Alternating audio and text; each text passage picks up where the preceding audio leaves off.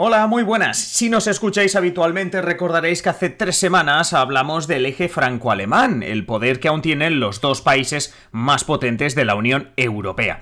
En este episodio vamos a hacer todo lo contrario, vamos a echar un vistazo a lo que queda tras esos dos países y ver en qué pueden acabar siendo dominadores. Hablamos del este de Europa, del sur, evidentemente entre otros países hablaremos de España.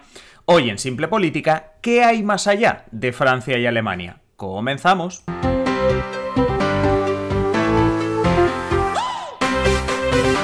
Os habla Adrián Caballero y esto es Simple Política, el podcast que trata de simplificar y traducir todos esos conceptos, estrategias y temas que están presentes cada día en los medios y que nos gustaría entender mejor. Es miércoles, hablamos de Europa, por lo tanto saludamos a Emilio Ordiz. Emilio, ¿qué tal? ¿Qué tal, Adri? Muy buenas, una semana más. Pues encantadísimo de que estés aquí una semana más hablando de Europa, hablando de la Unión Europea. Y en este caso, pues decíamos, hace unas semanas eh, estuvimos aquí hablando sobre el eje franco-alemán, sobre Francia, sobre Alemania, sobre este matrimonio en el que tú nos decías que, digamos, es un matrimonio que no está pasando por su mejor momento y donde encima parece que quien llevaba la voz cantante, que era Berlín, parece que le está dejando a Francia en estos últimos, bueno, sobre todo desde que está Olaf Scholz, desde que ya no está Angela Merkel, ¿no? Nos comentabas que parece que además de no estar pasando por su mejor momento el matrimonio, la voz cantante ahora la lleva la lleva Francia. Sí, yo diría que desde, bueno, a Olaf Scholz no le ha dado tiempo a, a, consolidar un perfil propio, yo creo, y desde el inicio de la invasión rusa de, de Ucrania, claro, el peaje de Alemania es mucho más alto a nivel energético por su, por su vínculo con Rusia y eso, y eso ha inclinado el eje hacia, hacia París. Evidentemente Macron encantadísimo, porque Macron lo que pretende es liderar el debate europeo hasta que su mandato se acabe, que será en 2027 y no se puede volver a presentar. Eh, mm. ¿Esto es un movimiento natural? Yo tengo la sensación de que sí, no solo por la, por la guerra, sino porque sin Merkel quizá esto hubiese sucedido eh, igualmente, ¿no? Olaf Scholz al final no, ni tiene un gobierno tan fuerte como los que tuvo Merkel, que eso es importante, ni tiene un perfil propio tan eh, notorio, ¿no? Como el de la ex canciller y líder de la, de la CDU. Ahora, eso no quiere decir que el eje franco-alemán actual esté igual de fuerte que el de hace, vamos a poner, cuatro años, 2019 más o menos, que puede ser un momento álgido ¿no? del, eje franco-alemán, por mucho que Macron insista en, eh, pues bueno, lo vimos con la visita de Zelensky a París, con que estaba Scholz como invitado, pero mm, no está pasando por su mejor momento, aunque siempre resurge. Sí, no, a ver, justo eso es de lo, de lo que quería hablarnos. Recordar que hace tres semanas pusimos el foco en esto, en hablar del momento débil de este eje franco-alemán, de que no está pasando por su mejor momento, y lo que estamos haciendo hoy, digámoslo así, es ampliar un poco el foco y decir, vale, pues si el eje franco-alemán no está bien, hay alguien que pueda contestar, qué poder pueden tener otras regiones de Europa y en este caso, por ejemplo, vamos a empezar hablando del este de Europa, que donde se han puesto todas las miradas, especialmente desde hace un año, desde el inicio de la guerra en Ucrania y donde se dice que precisamente con el conflicto en Ucrania se está evidenciando que el este de Europa puede estar ganando peso a nivel de defensa, a nivel militar, no sé, no sé cómo lo ves. Hay, hay, un artículo de este fin de semana en el país, pero no solo este, sino varios, en, en esa dirección de que la UE se está, digamos, inclinando hacia, hacia el este. Eh, lo que está claro es que aquí no hay que verlo tanto a nivel genérico, sino en cuanto a temas concretos, que es la, es la idea de esto que estamos explicando. ¿Por qué los bálticos están ganando peso? Porque son los que más cerca tienen la guerra de, de Ucrania. ¿Eso qué provoca? Que el debate político en materia de defensa y en materia de suministro de armas a Kiev lo lidere Polonia, por ejemplo. En ese equipo también habría que meter a los nórdicos. Finlandia, Suecia y Dinamarca también son muy pro, tenemos que armar a, a Ucrania, porque aquí hay dos, digamos, dos visiones, que es algo en lo que hay que insistir también. Hay una visión que dice que Ucrania puede ganar la guerra, ese es el discurso precisamente de los bálticos, y hay otra visión que es la que dice, la de Alemania, por ejemplo, que es la que dice que Ucrania no puede perder la guerra. parece lo mismo, pero no lo es. Por eso también Macron insiste mucho en el tema de mantener una vía abierta con Putin. Claro, eso, en un momento en el que la guerra está todavía activa, provoca que el peso recaiga sobre todo en los bálticos. ¿Qué nos podemos encontrar en un futuro, no sabemos si cercano o no tanto? Que las hostilidades ya no sean tan importantes y se vuelva a hablar de la vía diplomática.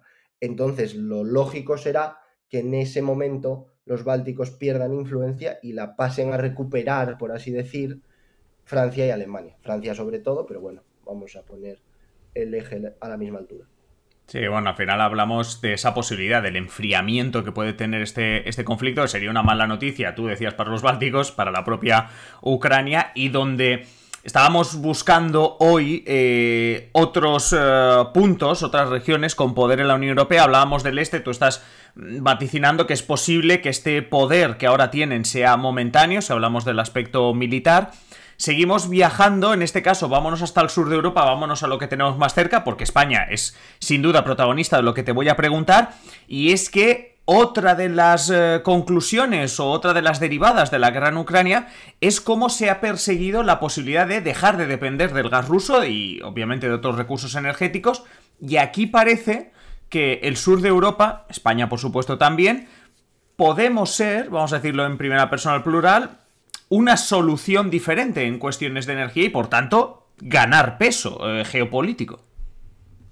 Sí, si todo, si todo va, porque esto, hay que, esto tiene que entenderse en un esquema de negociación prácticamente constante, pero si todo va como debería de ir, hay que tener en cuenta que España, por ejemplo, tiene eh, junto a Portugal la mayor capacidad de regasificación de, la Unión Europea, que Italia está llegando a acuerdos eh, con, con Argelia también para convertirse en una especie de hub energético, y que España, Alemania y Francia están avanzando muy poquito a poco, pero al fin y al cabo avanzando en el tema del hidroducto, porque no es ni siquiera un gasoducto, eh, el Barmar, que en su momento iba a ser el MidCat, le podemos poner casi el nombre que, que queramos. ¿Eso que hace? Abrir ventanas de oportunidad para si las negociaciones llegan a buen puerto y Bruselas, hablando rápido y, un poco informal, pone la pasta, que esto es importante, porque la idea de los países es que Bruselas financie, eh, en este caso el Barmar, con una, esto es un tip muy concreto, pero con una calificación que son los proyectos de interés estratégico, eh, si eso pasa, el sur va a ganar influencia geopolítica. Esto tiene otra, tiene un matiz, que es que habrá que consolidar muy bien las, relaciones con el norte de África. ¿Por qué? Porque nosotros, nosotros ahora mismo el gas lo estamos importando. Nosotros me refiero al sur de Europa. Eh, claro, hasta que no hagamos esa transición energética hacia pues, las renovables, el hidrógeno verde. Francia insiste mucho en la nuclear, pues por eh, tradición, vamos a decir. Eh, todavía quedará camino y todavía necesitaremos un poder de influencia hacia, hacia el sur, que parece que siempre miramos. Mm, antes mirábamos hacia Rusia y ha pasado lo que ha pasado. Siempre buscamos algún hueco en otras zonas de, de Europa, pero va a haber que trabajar muy bien también las relaciones con el norte de África. Sí, que por cierto, no las tenemos, por, lo menos en España, no, hablaremos del sur de Europa en su conjunto, pero en España no las tenemos precisamente estables y, ha creado incluso conflictos a nivel de política nacional, como hemos comentado en alguna, en alguna ocasión en este podcast. Eh, por tanto, en la parte del sur de Europa vemos que, evidentemente, si queremos ser un fortín eh, geopolítico a nivel de alternativa en energía, pues vamos a tener que establecer, como tú dices, o estabilizar las relaciones con el norte de África. Deja que te hable de una región también que has comentado tú así por encima. Hablabas de los países nórdicos. Eh, lo, hablábamos cuando el tema militar, ¿no? Y su visión sobre cómo debe terminar el conflicto en Ucrania, deja que te pregunte por una noticia que en este podcast comentamos, que pasó quizá un poco desapercibida en los medios de comunicación, que fue el hallazgo de tierras raras en Suecia. Se une, por ejemplo, a la producción petrolífera de Noruega y por tanto estamos hablando de que los eh, países nórdicos, que a ver, mal la vida no les va, pero se pueden convertir también en, bueno, pues ya no solo un eje que si militar, eh, energético y tal, sino directamente potencias económicas, no sé, o, simplemente alternativa también, no sé si también a gas, no en este caso, no energía, pero elementos vitales para la Unión Europea, como por ejemplo las tierras raras. Es que la Unión Europea insiste mucho en el concepto de autonomía estratégica, que normalmente siempre está como vacío, pero las tierras raras son fundamentales en este sentido. ¿Por qué? Porque eh, la noticia de la que, comentabas es el, hallazgo en Suecia de la que parece que es la mayor, eh, el mayor descubrimiento ¿no? de tierras raras en toda la Unión Europea. Esto es fundamental, por ejemplo, a nivel tecnológico. ¿Dónde quiere potenciar aquí la Unión Europea su papel? En, el, en el choque con China por así decir, ¿no? El tema de los microchips para el desarrollo de, tecnologías, de coches eléctricos, etcétera, etcétera. Países Bajos ahí eran como un, punto potente de, dentro de la Unión Europea, pero claro, si eso lo vas amplificando, ganas en autonomía estratégica. ¿Para competir con China y con Estados Unidos a corto plazo? Probablemente no, pero estás consolidando una base que no solo beneficia a la Unión Europea en su conjunto, sino que volvemos a lo mismo con el tema de que decíamos del sur. Los nórdicos se pueden consolidar como grupo, como lobby ¿no? de, de Estados miembros dentro de la Unión Europea porque tienen un elemento en su poder que es fundamental para el desarrollo de esa Unión Europea eh, más autónoma, por así decir, aunque queda muchísimo por hacer en ese, en ese camino, pero mm, volviendo al inicio de la explicación, es una forma de llenar de contenido el tema de, no, es que nos interesa la, autonomía estratégica, vale, pero la autonomía estratégica no puede ser un continente solo, tiene que ser algo con conceptos dentro, con, con elementos dentro para poder desarrollarse. Las tierras raras ahí son fundamentales. Sí, sí, autonomía, como tú dices, estos conceptos que utiliza a veces la, Unión Europea y que, y que insiste mucho, mucho en ellos. Oye, déjame que terminemos el repaso que estamos haciendo de lo que hay en la Unión Europea, ah, más allá de Francia y Alemania, con países que aún no están, con algo que no hay en la Unión Europea. Y es que la semana pasada te preguntábamos por, por la ampliación de la Unión Europea, déjame que te, que te insista porque descartábamos la entrada de Ucrania, pero están llamando a la puerta, aparte de los ucranianos, Moldavia, Bosnia, otros candidatos.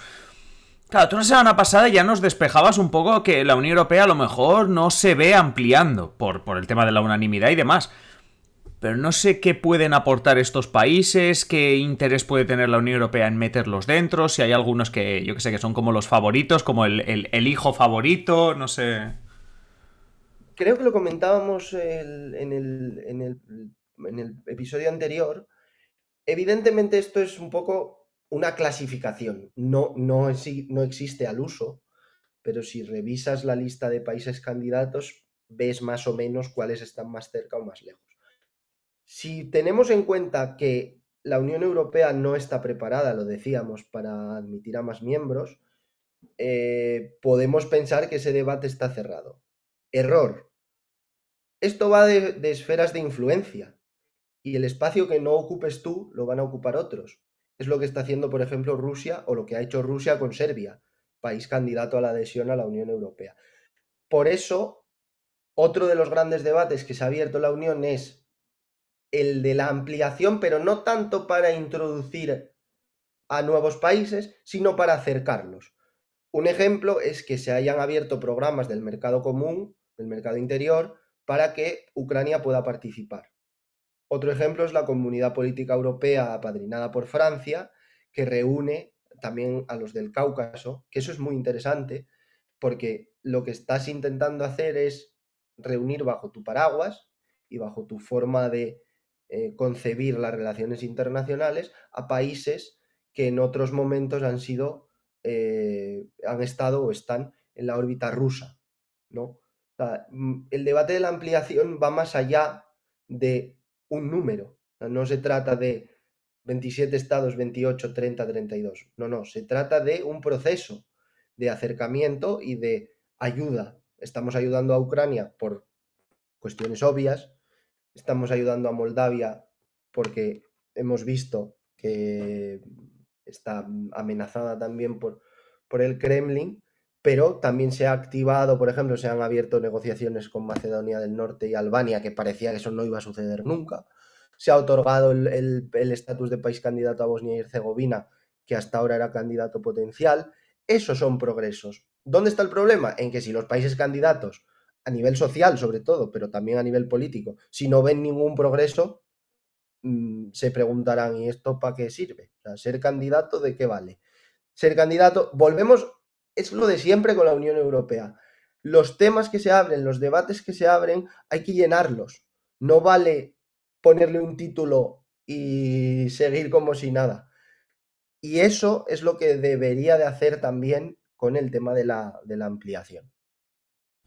Sí, sí. Pues, eh, eh, al final me, encanta porque volvemos sobre lo de siempre en la Unión Europea y al final parece que, que, lo de siempre es que hay un atasco, ¿no? Que hay como, como un freno, como un bloqueo y en este caso hablando de los, de, los, eh, de los países que están por entrar o que quieren entrar y que, como tú bien dices, no hace falta estar dentro de la Unión Europea para ver progresos, pero como tú bien acabas de explicar, si no ven progresos, pues evidentemente quizá miran hacia, hacia otro lado y nos has puesto pues lo que tú decías, el ejemplo, el ejemplo de Serbia.